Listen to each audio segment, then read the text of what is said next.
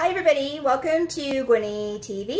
Uh, I have a special guest with me today, Lady Roz from Granite Mountain. Yay! Hi! Uh, you guys have probably seen her live videos she does on Facebook. They're absolutely amazing. Uh, she, like myself, loves to cook for the SCA, and so um, today we, when we decided to do the Guinness and steak pie, um, we decided to do it together for you. So, uh, so today's recipe is Guinness steak pie. I taught a class last weekend on planning and publicizing a war kitchen, and people heard about Guinness and steak pie. Went, I'm going to need that recipe, please. And so we decided this would be next up in the line of recipes I cook live for you. Well, live-ish. Um, do you want to tell me a little bit about yourself?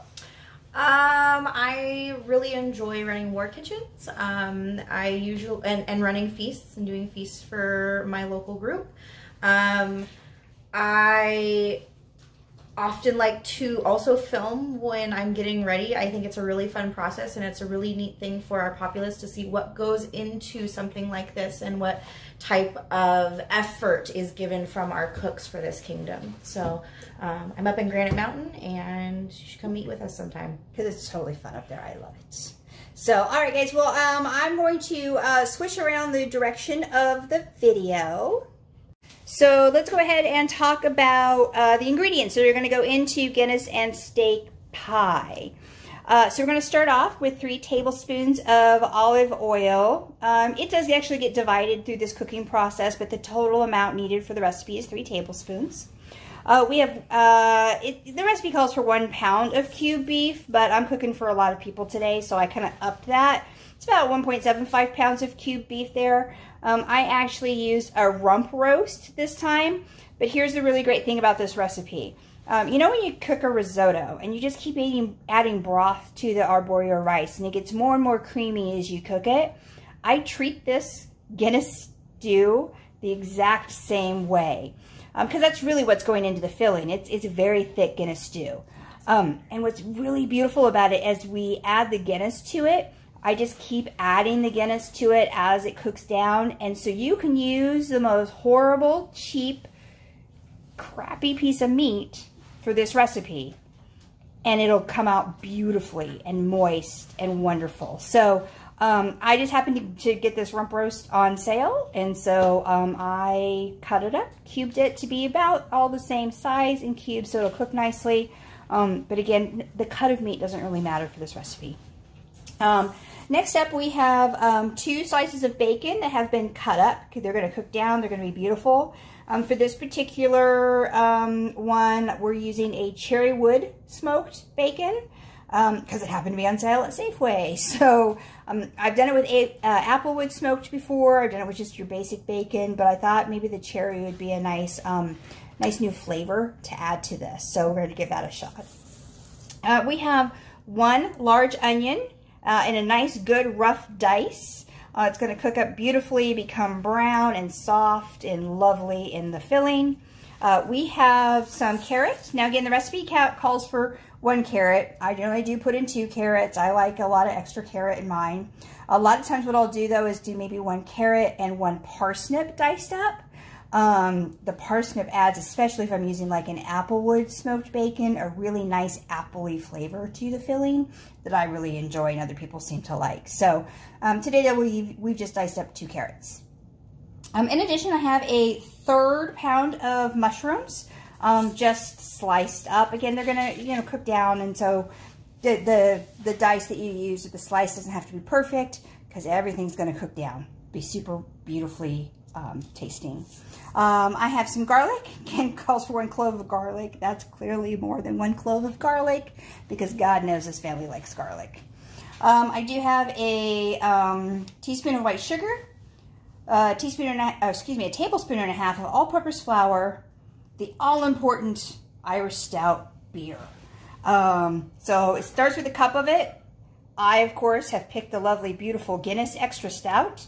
Um, I use way more than a cup in this recipe because like I said, I cook it a little hot so that I'm continuously adding that stout beer um, to make it really taste deep and rich and wonderful.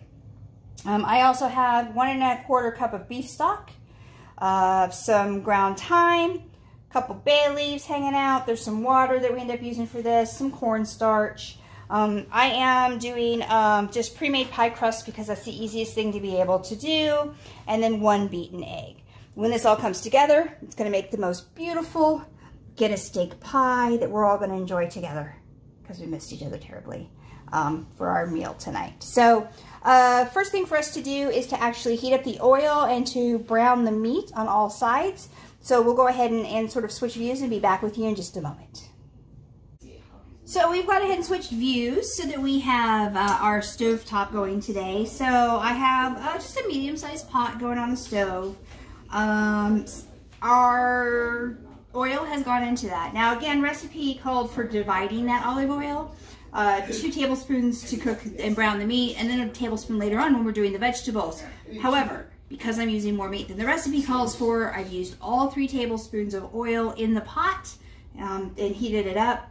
Um, and I've, I've got a different tablespoon of oil to use for the, the vegetables later on. So um, one of the really cool ways that I check to make sure my oil is hot and I'm ready to cook for it is I fry water. I know it sounds really weird, right? So I just kind of go over to my sink and put a little like couple of drops of water on my fingers and I flick it into my oil and you kind of hear it. It went, oh, it's so hot in here. Um, yeah, that means great. I fried water. Now I can do some meat. So um, it's a neat little trick my grandmother taught me years and years ago. So um, we're going to do this meat in batches. So um, I'm going to want to add it sort of piece by piece because I don't want it to get too crowded into the pot. Because then it doesn't brown. It doesn't brown. And I, I really want to make sure that I try to get all the sides of this meat brown. That's what's going to give it a really deep, uh, rich taste as I'm cooking this. Get it off my face. Uh, you want to, you know, yeah, you know, put some in? Um, so as Roz is adding the meat to the pot, um, try and keep, and again, it's not like you have to, you know, you cook 10 pieces at a time or anything, but keep some space around that meat so as you're turning it, everything's going to start to brown really nice and beautifully. Um, you, of course, certainly, you, you don't want to burn the meat. That is not the purpose of doing this. Um, but browning that meat, you're not likely going to cook through those cubes, and that's fine because we'll add it back in later, and it's going to cook completely within the sauce. Um, that's going to be our pie filling. So we'll that really well like that. Um, so we'll get these added in here. We'll brown them on all sides. You can kind of see on the other side of our pot, on the other side of our stove, I just have a little tray set up with um, lined uh, paper towels. Um, because as these finish browning on all sides, I want to remove them to that and take the extra oil off of them, right? Um, I mean, you know, come on, I'm browning this in a decent amount of olive oil. It's not the most healthy recipe in the world, and that's okay. Um, but I'm going to remove any extra fat that I can from my diet. Um, that's just me in particular. So we'll work on browning all these sides. When we're done browning all the meat, we'll be back with you. We'll talk about continuing on to prepare this recipe. So we're coming back to touch base with you. We're still working on browning the meat. And one of the great things that, that Roz and I were talking about as we do this is sort of how do you turn that meat? It's going to be your natural tendency to want to do this as quickly as possible.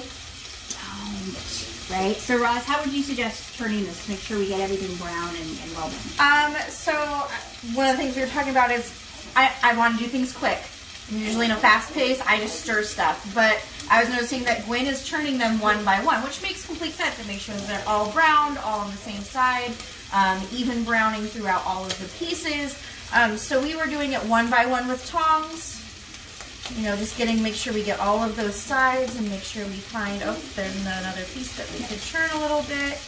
You know, get this a little more. But as you're doing that, you can see we can really closely monitor, right, how brown each side of that beef is getting.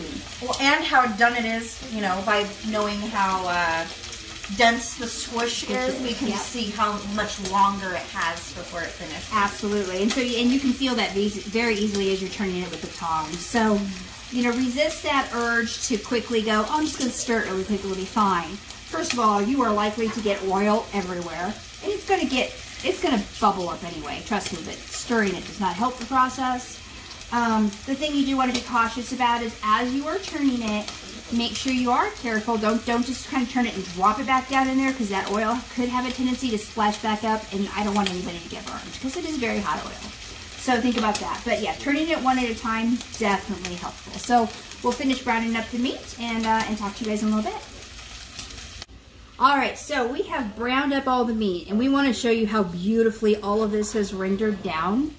Um, so I'm gonna kind of pick up the camera a little bit. Look how beautiful all that juice is in there. Casey's gonna kind of take and drag it out. Look how beautiful that is, right? I'm not gonna get rid of any of that. I want my vegetables to cook in that. Maybe just a little bit more oil. Um, it's gonna add such a beautiful, deep flavor to this pie filling as we're cooking it. Um, it's gonna be so absolutely amazing. Um, but when we, we kind of think about the meat too, it's been browned on all sides. Again, all the pieces are done all the way through. It's okay, it doesn't matter. It's all gonna go back in anyway and cook that in the sauce. So um, I'm gonna go ahead and add just, not, not the whole tablespoon probably, but just a little bit of oil. Casey Joe's gonna add in those two slices of the cherry wood smoked bacon. Okay, we're not going to cook those all the way through either. We're going to start to render them down, however, and uh, and start getting them eh, a little crispy, uh, but not fully crispy as we go through.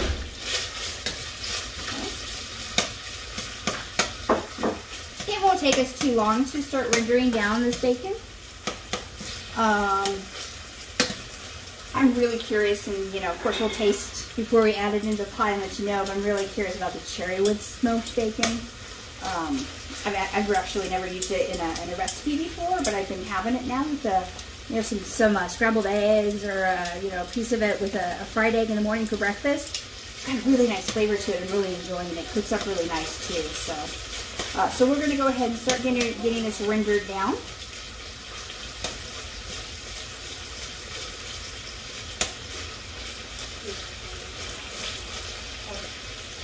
Oh, it smells, doesn't that really smell so good? It smells so good. Like I'm so hungry right now.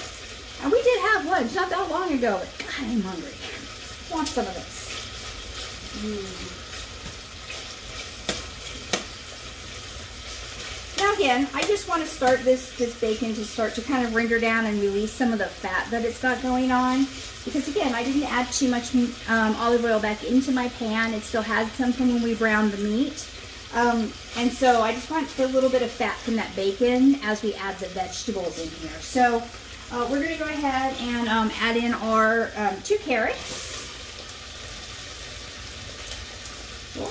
That full diced onion is going to go in next.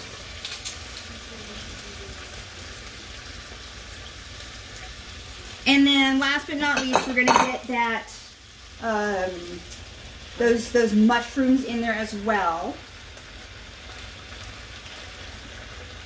And then I'm gonna give those a really good stir before I add the garlic in because I want the garlic to kind of um, get onto all of the veggies, if you will. And you know, right now my veggies in here are kind of layered, so I'll give them a good stir around. Oh, it's an escaping mushroom, how terrible. All right, there we go, that's a nice stir. So we've got our beautiful garlic. I wish you guys could smell this as we're cooking it. Again, smell-o-vision should be a thing. Sadly, it's not. Um, I'm gonna switch my my tool. I'm gonna go ahead and, and, grab myself a nice plastic spatula and get that all stirred up around into there. Um, I didn't actually have to on this, but I will tell you there's lots of beautiful brownie bits in the bottom from the cooking off of the meat. And um, if they were sticking to the bottom, um, I would have probably thrown in maybe, I don't know, uh, eighth of a cup or you know, even just a splash of white wine in here to be able to scrape up and get all the burny bits off the bottom of the pan because again, I want that flavor um, in here. So um, all of our veggies are in here. Uh, we're going to cook these down so they start to get soft. I want my onions to become translucent. Um, I really will cook them down long enough because I do like some caramelization um, to my onion. Uh, to be honest with you, um, I, I, again, I think it adds to the depth of the flavor um, of that pie filling. Isn't that pretty? Isn't that gorgeous? So pretty. So, so, so pretty. Um, the, to add to that caramelization, I almost forgot. I don't want to forget it because this is mm. so helpful. Is I have that little bit of sugar that we have. This is just your regular old white granulated sugar. I'm going to sprinkle that across the top and give it a good stir down in there. That's going to add the sugars to it to be able to start a caramelization process. Okay. I know we had some oil left over. Do you think We it did. needs any more? I don't Or- think I don't so. think it is it Yeah. either. Looking at it. Yeah, I'll, I'll keep an eye on it, but really at this point, all of the veggies and everything um, have an oil coat to it, Yeah. and I don't want it to become greasy, right? There's a difference between nicely oiling something so that it can brown and do its thing, And saturate. and saturating it so that, yeah, it becomes greasy. It could be a fine line. Yeah, very fine line. Apparently, I had that problem yesterday trying to make some eggs, but alright. Um, so we're going to cook this down. It's going to take us about 10 or 15 minutes to accomplish that. So we'll go ahead and again take a commercial break. No, still haven't talked to the whiskey bars yet, but I really again need to do that so we can have commercial breaks. Um, and then we'll check back in with you and we'll keep cooking our pie filling. All right, hi, we are back. Uh, we have been rendering down and cooking all these beautiful vegetables and the bacon. Um, things are absolutely looking beautiful. Let me give you a shot of this right here. See how beautiful and gorgeous that is. Um, you know, you can see there's not a, a lot of liquid left in here, and that's okay. That's kind of what we want. Um, as we're cooking this down, what I've been watching for though is if if it got too hot and, and too little liquid in here, you could get little burny brown bits at the bottom. Um, it didn't happen with this one because we've been watching it pretty carefully. But if it did, I could easily get those up and add them to the beautiful deep taste of the pie filling just by putting a little um, white wine in it. The wine's going to cook off. It's it, it's just a dry white wine, so it's not going to counterdict with the stout. Um, but yeah, it's it's absolutely beautiful to get that in there. We just didn't happen to burn any of our food, which is great. Um, so uh, what we are going to actually go ahead and do is add some stuff um, into here. I'm going to sprinkle that uh, one, I think it was one and a half tea tablespoons of the all-purpose flour in here, and I'm going to stir that in my veggies to coat them. Uh, well, we can just, uh, there, yeah. Um, so I want to stir the vegetables and get the them all kind of coated in that flour because then as the pie filling is cooking, um, it's going to help to kind of keep it thick. I don't want to, I can't have a runny pie filling and put it in my pie and it's going to make everything too mushy and the pie crust isn't going to form properly and bake up and be crisp and beautiful and flaky, right? So, um, so that is, that's why I want that flour in there. Uh, next up, we're going to go ahead and start with a cup of the um, extra stout Guinness. Go for it. Mm, so beautiful. Um, I like using the extra stout Guinness. You could use any deep, rich beer if you wanted. Um, but it, again, I prefer this pie filling with a really deep, beautiful um, flavor to it. I don't know a better way to explain it than that. Um, but it, it absolutely smells so, so good. Um, to this, we are also, though, to get some additional liquid in here, we're going to add some of our, uh, add our beef stock. Okay. It's a cup of that beef stock in there. Give that a good stir. Now we want to get some of our flavorings going on in here. So, Casey, if you want to add that ground thyme. And then we're going to add a couple of bay leaves. I'm actually adding about the total of three bay leaves in here. Um, we've talked about this when I, I did the video for the forest stew. I could easily put those bay leaves in like a cheesecloth or something of that nature and drop them in there. Make them super easy to pull out and find when I'm done because nobody wants to eat that bay leaf. it's not going to be a pleasant time if they do. Um, however, to be honest with you, yeah, no, right? Um, however, um, I'm fine just plopping them in here and then just be very careful as I finish this before I put it into my pie filling to get those bay leaves out. So they're not a terrible little surprise for, for people, okay? Uh, so we're gonna give that a little stir. Uh, I'm gonna give it a second to warm up the, um, the beer and everything um, before we go ahead and add our reserved beef in there. Now, when we add our reserve beef, it's been set off to the side, right? So it's gotten kind of cold. It's going to change the temperature of what's going on in my pot. It's going to drop dramatically. Then the recipe calls for it. I really recommend that once you add that meat in there, you bring it back up to a boil. So before I actually add that meat, I'm going to take it up a couple of notches on the stove. So I've gone from a very medium heat on my stove. It's a six. Um, I turned it up a couple of notches to an eight. Okay. Uh, Casey Joe, if you want to start adding that meat in here. And we're gonna add it in just a little bit at a time. I'm gonna kind of stir as I do it. Um, yes, you could turn it over and just plop it right in, but again, you run the risk of making a terrible mess because there's a lot of liquid in this pot now that might spill up over it. I don't know about you, but I want to be left cleaning up as little as possible after I cook. And not grab the paper towel with the tongs. Yes, and not grab the paper towel with the tongs.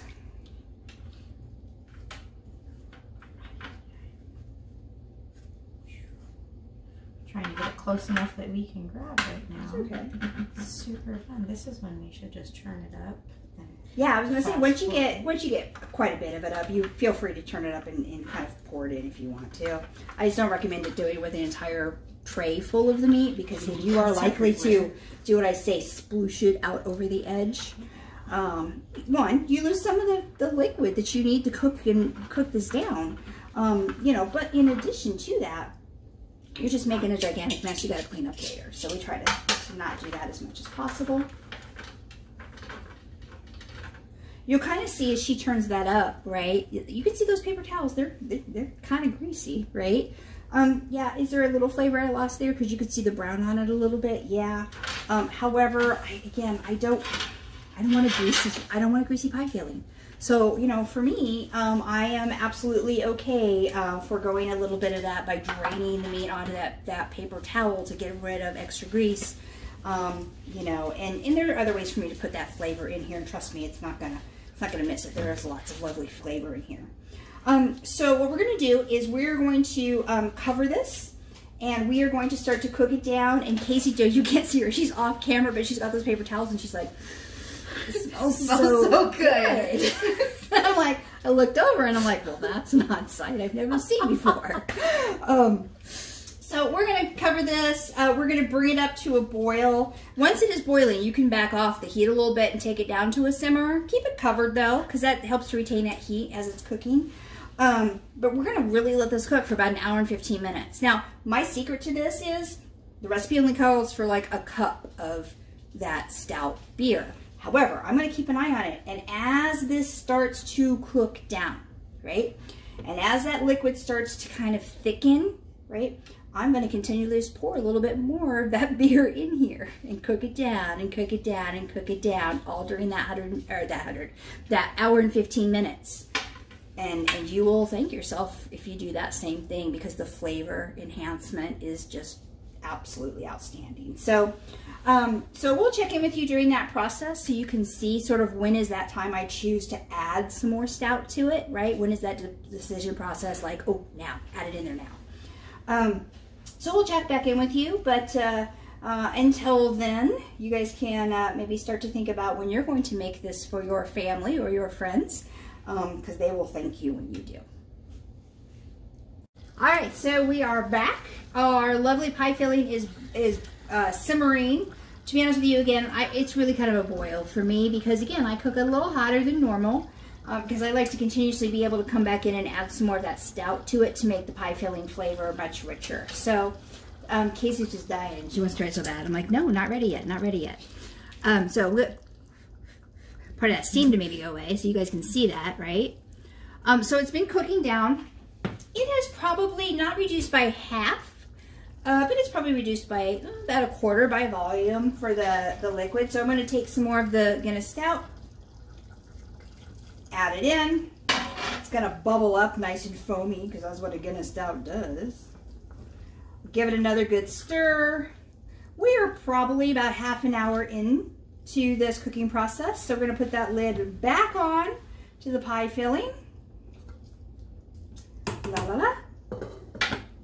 Keep it here. It's going to come back up to a nice simmer again because remember I added that stout in so it reduced the temperature. So it's got to come back up to that simmer. Uh, probably about another hour, uh, excuse me, probably another 30 minutes. I'll add the remaining little bit of the stout that's in here. So really it's like one bottle of stout. Um, and, uh, and cook it for another 30 minutes after that. And then we'll be back with you to talk about how do you get the sauce to kind of thicken up a little bit before you add it into the pie filling and bake off the pie. So we'll be back with you shortly. All right, hi everybody, we are back. Um, the, oh my God, this is just smells so good. Um, it looks so good, smells so good. You will see that that sauce has kind of started to thicken up in there. There's still a decent amount of liquid, right?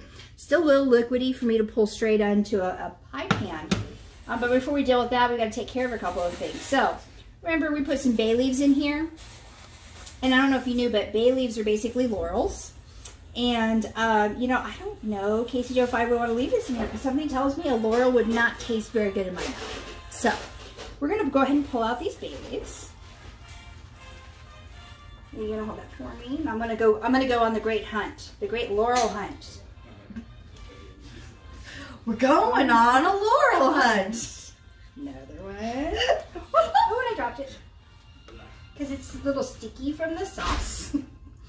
And then I think we've got a couple of extra little pieces flying around, floating around in there somewhere. So just want to make sure. I think there's two small There pieces. Yeah. So yeah, There's a little piece right little there. piece right there. You're gonna get out of here too. And hi, Simon. How are you? Are you lurking? He's not lurking. He's like, I want. I would like that right now. So I'm just gonna take a quick peek. Make sure that everything is out of here. Don't suck on the laurel leaf. That's what So- she said? That's what she said, yes. All right, so uh, so all the laurel leaves or all the bay leaves are out of here. I think they're gone. Um, we want this to sauce to thicken up just a tiny bit more, tiny bit more. So uh, you remember when we started this process, we looked at all the ingredients. We talked about having some cornstarch and some water. Um, and so in my little my little bowl here, I have added those two things together, stirred it up to kind of make a little slurry. You don't need very much, um, unless you have. What are you playing? Get out of here. Um, unless you are uh, have a lot of leftover liquid and it's just not kind of cooking down well. But I've never actually had that problem, so uh, I'm gonna pour my little slurry into here. This is something that I always struggle with because I always like a real thick sauce. Uh-huh. So I tend to put more cornstarch than I probably should. And a sneaky little bay leaf Yeah. still stuck in there. I'm hand that to you. Okay, yeah. Thank you. All right. So yeah, and and I again I want this to have a little liquid to it because it's going to go into the oven next. It's still going to continue to cook. I don't want it to be dry, um, but I also don't want it to be soup. Right? I want it to be like a really very nice thick stew. Okay. Um, now, now that we've added that cornstarch slurry, it's to hang out in here for just a little bit longer, probably five to ten minutes. Um, I've actually turned my heat off. You could have it on a very, very low heat. The residual heat from this is to be enough um, to thicken this up for me. So we'll be back with you in a few minutes and we'll get everything added to the pie crust. All right, so we are back. Um, our pie filling is beautiful and lovely and uh, just tastes amazing because we, we tried a little bit of it, not gonna lie. So we are ready now to assemble our pie. Uh, now the recipe, and I'll post the recipe in comments um, uh, when I put this up on YouTube and send it out on Facebook.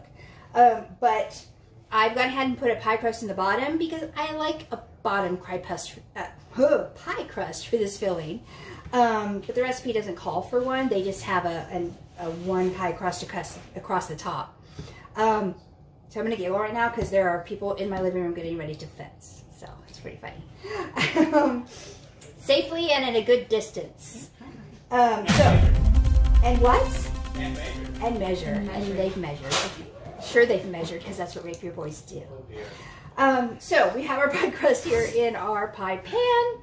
Um, I have a pie crust to go on the top. Um, and then I, I have another little layer of pie crust to show you because I've made a really cool little design to put on top of my pie. But first we got to get our filling in here. So I'm going to go ahead and grab my filling. Does that not look ridiculously yummy and just beautiful? Yeah, so we're going to pour that all into here. For those of you following along at home, um, watching it on the screen and seeing it in real life, I've noticed that it's a little darker in real life. So don't be afraid if it's not a, a light color. Yeah. Um, it's very definitely darker in real life. Yeah, because you have made showing up on the Yeah, remember? phone. Yeah, and, and you have done a, a really, really dark stout beer into Mhm. this, right? So it's going to make it a very dark filling.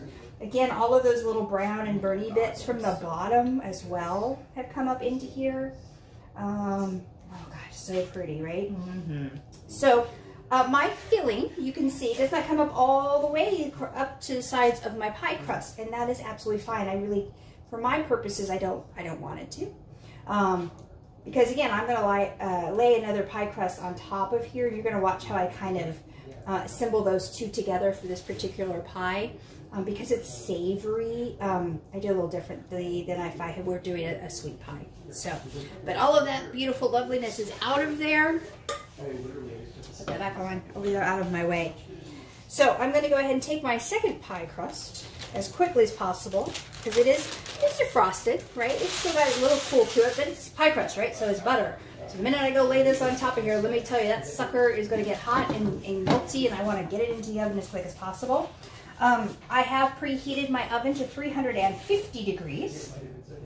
I'm to take this pie crust, and I'm going to kind of roll the edges down and push it so it meets the edges of the pie crust that's underneath of it, okay? Creating that nice pocket, pocket for it, yeah. It ends up, it does really well. And if a little bit of it burbles up, it's okay. It's not a big deal. it is what it is. It won't make it taste bad. It won't. It might make it a little messy, but you know. Well, I don't want to clean up lots of mess. A little mess I'm okay especially if it tastes good. I don't care. So I'm getting that rolled down and kind of pushed onto that first pie crust. Okay. And it's a little warm now because I've added this filling, so I'm not going to really pick it up and show it to you, but I will kind of lean the phone in a little bit here. And I got to go that way. So you'll see how that's kind of all kind of crimped together. Now, I'm about making things really kind of cool and pretty. And um, a while ago, while ago, I went to Great Western War and I um, I made some of these for Great Western War. As a matter of fact, um, my friends Tristan and Damiana were king and queen at the time. And um, and so I got it into my head that I would make them sun and splendor Guinness pies, right? Uh, oh, I'm going to do the whole egg wash over the whole thing. Oh, that's right. Yeah, no, it's okay. Um, so I have created, to go along the top of that, a little sun and splendor in honor of my friends, Tristan and Damiana. Um, because it, it cracks me up and it's cute, right? I just cut out a circle. It's a little smaller than the topping it's going on to. What I think is really cute is I just triangled the little rays of the sun. Um, I'm going to push this down onto here and the rays of the sun kind of poke up, if you will, and kind of fold over the top of the pie pan that I'm using. Um, I'm using a 9-inch pie dish, by the way. Um, it's a ceramic. I, have a glass one I could have used too, but I, I like this one because actually in the bottom of here is also a sun, an Atenveldt sun. So it works out kind of. Atenveldt pie. It's an Atenveldt pie. So, right, so we have our cute little pie crust going on the top here. Ta-da! Right? Um, last thing I want to do before I pop this into the oven is I'm going to do a little egg wash on the top of it. So I have my one beaten egg that we talked about as we went through our ingredient list. I have my nice little pastry brush. I got a couple of them. The one I prefer to use is actually my, my um, little plasticky one because it's so much easier to clean. Um, so I'm going to take my egg wash across the top here, give it a good brushing. It does not need to bathe in the egg wash. This egg wash is just going to really kind of give it some color as it bakes. So it's not really a wash. It's more of a... Yeah. it's just a, a beaten egg. A beaten egg. Yes, just a beaten egg. Although I did yesterday, um, I, I, um, my friend Lady Ermacinda from the Burying the Sun Dragon, um, she taught a uh, virtual class on uh, making apple turnovers. Mm. And she talked about how actually she prefers to actually use a true egg wash where it's just the egg yolk and yes. some water because she really believes that kind of browns up better and things of that nature. I actually meant to try that today with this and totally forgot to do it. So the egg is what we get. All right. Fresh all over this. Yeah, yeah. Yeah, guys, literally people with chainmail in my living room right now. I'm just saying. All right. So beautiful egg wash going on here. Now that that's all done, we will pause again. It's going to um, go into the oven. Uh, again, preheated oven at 350 degrees. I'm going to keep that in there for about 30 to 40 minutes. Um, you know, things in there got to still cook just a little bit. My pie filling is going to thicken up a little bit more because of the cornstarch slurry we added to it. And then of course the crust is gonna cook up beautifully. So we'll be back with you in about 30 to 40 minutes to look at our finished product and try our wonderful Guinness steak pie. We are back. So uh, I went ahead and left the um, Guinness steak pie in the oven for the full 40 minutes. Um, I looked at it at 30 minutes and it didn't kind of have enough color for me um, on that top pie crust. I'm sure it was cooked all the way through, but I just really wanted a beautiful golden color on the pie crust. So I'm gonna kind of, I'm gonna tip this down so that you can see the beautiful Sun and Splendor pie crust. Isn't that pretty? Absolutely love it. Uh, makes me a little bit sad to cut into it. However, I know how good it's going to taste, so I am going to cut that sucker. Oh yeah. So Casey and I made it. We get to have the first taste of it. Um, dun, dun, dun. Look how flaky that beautiful crust is, I know. right? Yeah. Oh. I'm gonna cut us a little piece of it. Pull it out of here. First little bit. Right. So as I cut it, you're gonna see, right? It's got the bottom pie crust on there, right? Beautiful, flaky, cooked up nicely. My top filling is in there. It's not even a whole piece there. It's, oh, it's not definitely even a thicker whole than piece. that. Yeah, it's, it's totally thicker than that. But go ahead and take yours. I'm gonna pull a little bit. Take a little bit. Lots of mushroom here. Right, I know. Yeah, I'm gonna blow on it because it's, it's hot. I I, can feel it's hot. Mmm. Oh my god. I know, right? Okay. So Y'all come find out what you're having for dinner. we're gonna have the pie. Yeah, okay. Yeah. Um. Mm. Again, things that I change about this is again I do a very slow cook on it, a little bit higher heat, and continually add that Guinness. Um, that's why we're really getting a very deep, beautiful flavor to it. You can really actually taste that stout Guinness in there as part of it. Um, I wish I'd been able to find parsnips because again, I think it adds a, a nice starchy piece to it. Now they don't have plenty of starch, right? The pie crust, but the filling is a nice starch that way. Mm-hmm. Um, so nice. Could have done potatoes, but for me, I think potatoes get really mushy when I do them in this filling. Um, so not my favorite feeling in my mouth when I'm eating. So yeah. Um, so we'll let it cool down just a little bit before we serve it for dinner. Uh, what we're going to serve it with tonight actually is just some simple sauteed um, zucchini and uh, yellow squash. I have added it to a pan with a little bit of olive oil, some salt and pepper. That's all the treatment it's going to get. I'm going to saute that up, serve it as my side for this, and we're all going to be crazy full by the end of it. So, um, Lady Roz, my Yes. dear friend Casey, thank you so much for joining me on Gwennie TV. Thank you for having me. I have had tons of fun. Uh, and uh, next time, what I've decided, I believe I'm going to cook on um, Gwennie TV probably maybe next weekend or maybe in, in, even in the middle of the week. I'm going to do some apricot chicken. Because again, it's a standard for my camp kitchen. Um, I serve it over a um, toasted almond couscous. And uh, and it's just, it's, it's absolutely gorgeous. So I think I've done a lot of beef stuff at this point. So we'll do some, uh, we'll do some, uh, so the chicken dishes maybe coming up. So uh, I love you all. I hope you're all keeping safe. Until later, Squinty TV. Love you. Bye-bye.